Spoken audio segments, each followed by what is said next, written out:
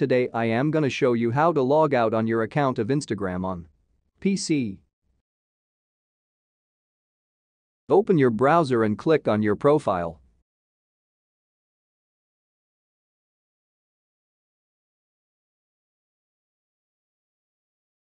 Now, you will see option of logout. Click on that.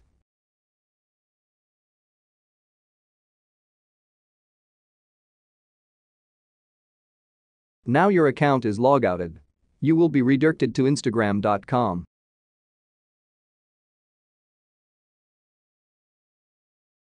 If you have logouted, but your profile still visible like this, so click on remove account option.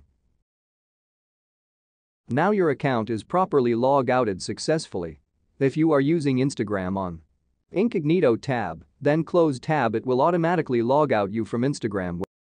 Hope you understand how to log out. If this video helped you so like this video and do not forget to subscribe channel.